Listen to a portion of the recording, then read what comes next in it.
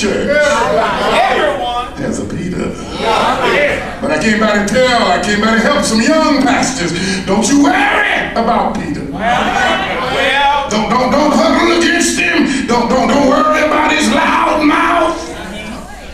Leave him alone. Because after a while, God will work with his spirit. God will screw his head on right. Leave him. Somebody got the message. Every black church has a Thomas. Am I talking to anybody? Thomas, you know what he's famous for? He's doubting. And, and Thomas may not show up on Sunday morning like he ought, but he's always.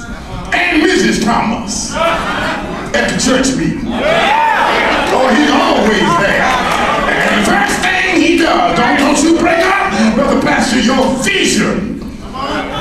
The church. He's going to be the first one to stand up and give 25 reasons why it can't be done.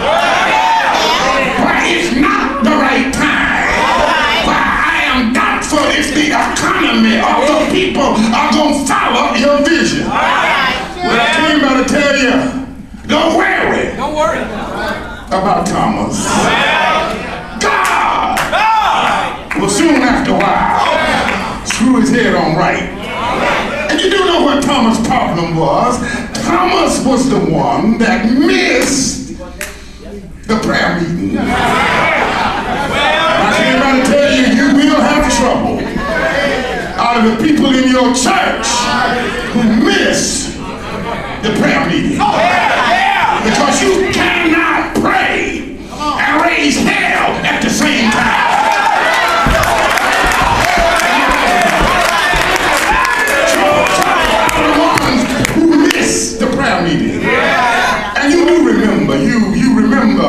Uh, Jesus has died. Uh, at the point of the text, Jesus has been risen. The women have told the brethren.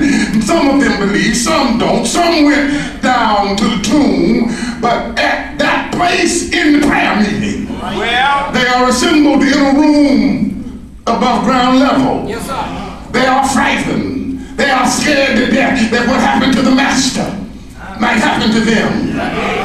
And in the midst of the room with the windows closed and the doors shut, Jesus shows up. Yes. And the next day when, when Peter saw Thomas, he says, Thomas, we saw the Lord. Well, Thomas looked at Peter and said, Peter, you are delusional. Do you not remember I was a pallbearer and I bore his lifeless body to the tomb? I know he's dead.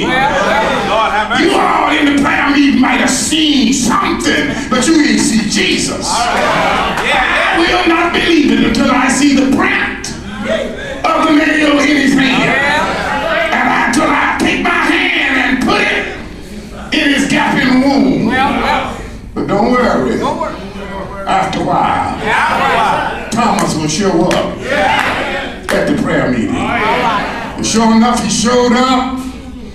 And then one more time, with the door shut, the windows closed, Jesus shows up. yeah, yeah. And the first thing he says when he sees Thomas, he says, Come here. Uh-huh. Touch the print of the nail in my hand. Touch. Put your hand in this gaping wound.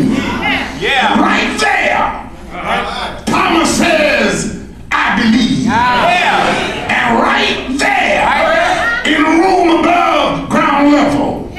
Jesus calls our name. Mm-hmm. Yeah. I said he called